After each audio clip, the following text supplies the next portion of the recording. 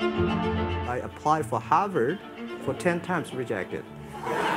When KFC came to China, come to my city, You 20, 24 people went for the job. 23 people were accepted. I was the only one guy. One of the secret source for Alibaba's success is that we have a lot of women. 47% of our company women. If you want to win in 21st century, empower others, making sure the other people better than you are, then you will be successful. So I find the women they think about the others more than they think about themselves.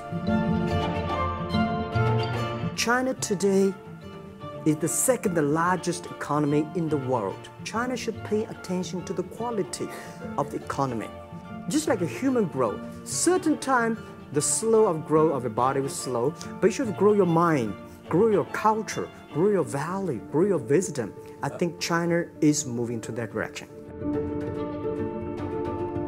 When you have one billion dollars, that's not your money.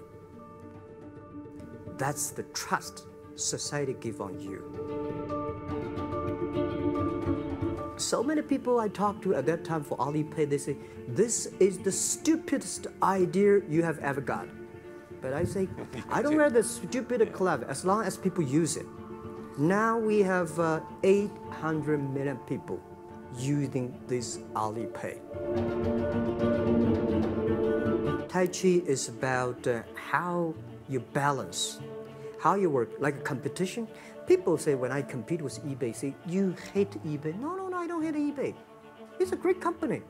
You know, they come, I go. You know, Tai Chi is like, you fight here, I go over there.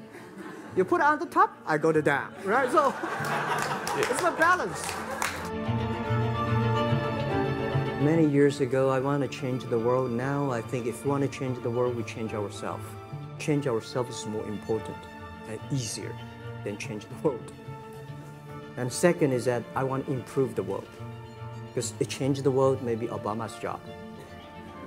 Because my job is to making sure that my team are happy.